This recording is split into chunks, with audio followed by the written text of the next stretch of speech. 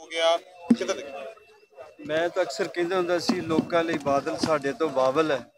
ਇੱਕ ਸਦੀ ਦਾ ਇੱਕ ਯੁੱਗ ਦਾ ਅੰਤ ਹੋ ਗਿਆ ਐਸੇ ਲੋਕ ਕਿੱਥੇ ਪੈਦਾ ਹੁੰਦੇ ਆ ਕਹਿੰਦੇ ਨਾ ਕੌਮਾਂ ਦੇ ਸਰਦਾਰ ਗਵਾਚੇ ਨਹੀਂ ਲੱਭਣੇ ਨਹੀਂ ਲੱਭਣੇ ਦਿਲਦਾਰ ਗਵਾਚੇ ਨਹੀਂ ਲੱਭਣੇ ਉਹ ਵੱਡੀ ਤਾਕਤ ਸੀ ਸਿਆਸਤ ਦਾ ਕਿਲਾ ਹੀ ਢਹਿ ਢੇਰੀ ਹੋ ਗਿਆ अंसर जी हिंदी में आप बताएंगे कि आप आज कैसा महसूस कर रहे हैं आज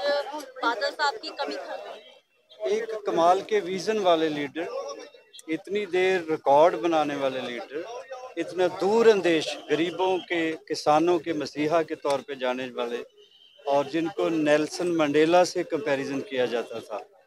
बहुत सारा उन्होंने कुर्बानियाँ की और ख़ास तौर पे किसानों के लिए और मज़दूरों के लिए वो बहुत कंसर्नड और फिक्रमंद रहते ਅੱਛਾ ਜੀ ਕਿਹੜੀਆਂ ਜਿਹੀ ਕੋਈ ਚੀਜ਼ਾਂ ਹੋਣਗੀਆਂ ਜਿਹੜੀਆਂ ਲੱਗਦਾ ਕਿ ਜਿਹੜਾ ਅੱਜ ਦੇ ਪੋਲੀਟੀਸ਼ੀਅਨਸ ਨੂੰ ਸਰਦਾਰ ਪ੍ਰਕਾਸ਼ ਸਿੰਘ ਬਾਦਲ ਤੋਂ ਸਿੱਖਣੀਆਂ ਜ਼ਰੂਰੀ ਨੇ? ਹਾਂਜੀ ਤੁਸੀਂ ਉਹਨਾਂ ਤੋਂ ਨਿਮਰਤਾ ਸਿੱਖਣੀ ਚਾਹੀਦੀ ਆ ਬੈਲੈਂਸ ਰਹਿਣਾ ਸਿੱਖਣਾ ਚਾਹੀਦਾ ਵਿਧਾਨ ਸਭਾ ਵਿੱਚ ਆਪੋਜੀਸ਼ਨ ਨੂੰ ਕਿਵੇਂ ਡੀਲ ਕਰਨਾ ਚਾਹੀਦਾ ਜਾਂ ਵਿਰੋਧੀਆਂ ਨਾਲ ਵੀ ਕਿੱਦਾਂ ਦੋਸਤਾਂ ਵਾਲਾ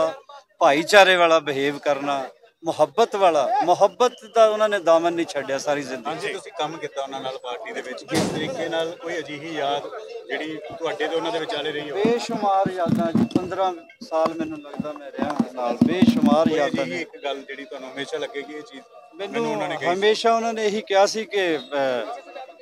ਜਿੱਤਾਂ ਹਾਰਾਂ ਬਣੀਆਂ ਰਹਿੰਦੀਆਂ ਇੱਕ ਪੈਨਿਕ ਨਹੀਂ ਹੋਣਾ ਦੂਜਾ ਮਾਯੂਸ ਨਹੀਂ ਹੋਣਾ ਉਦਾਸ ਜਿਹੜੀ ਕਿ ਮੈਂ ਗੱਲ ਮੰਨੀ ਲਈ ਮੈਂ ਨਵਾਂ ਸੀ ਮੈਂ ਮਾਯੂਸ ਵੀ ਹੋਇਆ ਉਦਾਸ ਵੀ ਹੋਇਆ ਔਰ ਮੈਂ ਅਨਬੈਲੈਂਸਡ ਵੀ ਹੋਇਆ। ਜਿਹੜਾ ਉਹਨਾਂ ਤੋਂ ਇਹ ਚੀਜ਼ ਸਿੱਖ ਗਿਆ ਉਹ ਫਿਰ ਜ਼ਿੰਦਗੀ 'ਚ ਕਾਮਯਾਬ ਹੋਇਆ ਔਰ ਦੇਰ ਤੱਕ ਲਈ ਕਾਮਯਾਬ ਹੋਇਆ। ਠੀਕ ਹੈ, ਮਿਹਰਬਾਨੀ